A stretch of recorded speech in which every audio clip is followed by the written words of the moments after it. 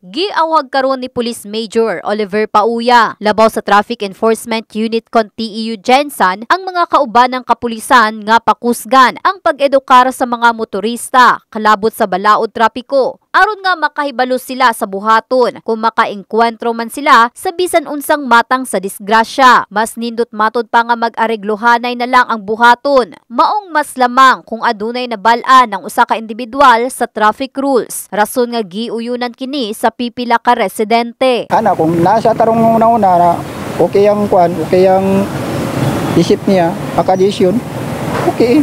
Basta nila padadali wala kaso. Ana lang. Kung sa edisyon nila, edisyon po dito sa Pikas, para masitil po.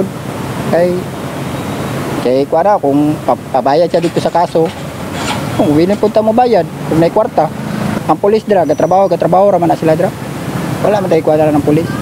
Ang isip lang kitang kwan yun. Kung kwarta man ko hisgutan sa kuan ang luoy mangyapon ang pobre. Luoy kay mga pobre.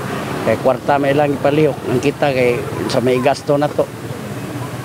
Ang mga may kwarta dali lang sila. Bisag sala nila ma sulbad dayon kay na may kwarta. Kita unsa may kasulbad na to untay ka buga Siya pa yung nabanggaan, ospital pa yung kanya, yung anak niya. Siya pa yung pinabayad nung nakakutsi kasi wala siyang rehistro at saka lisensya. Although may kasalanan yun, pero pagkakonsensya natin, tayo pa nakabangga.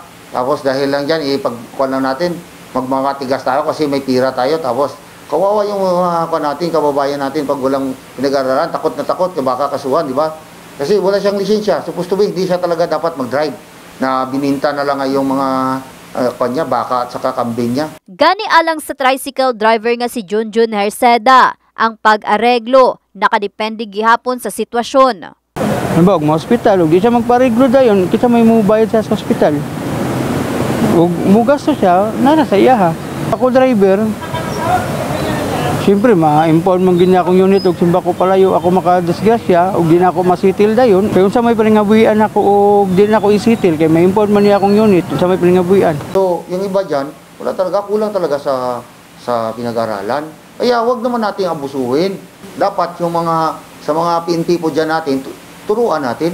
Bigyan natin ng kon muna. Wag mo na madaliin yung panila, yung yung arigluhan. Kasi kawawa eh. Sila yung kawawa talaga. Sila, sila yung par, parating biktima. Mas lamang matod pa kung adunay na balaan, maong kinahanglan nga adunay kahibaluan ang matag-usa sa balaod trapiko. In the heart of changing lives. Kini si Russell Jean Mantile sa Brigada News Jensen, Brigada News.